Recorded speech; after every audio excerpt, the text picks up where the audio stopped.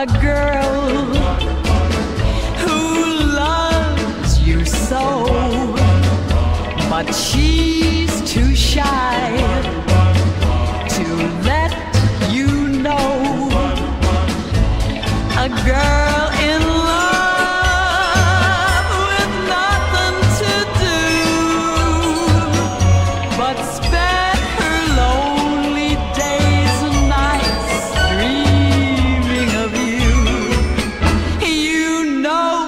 the girl.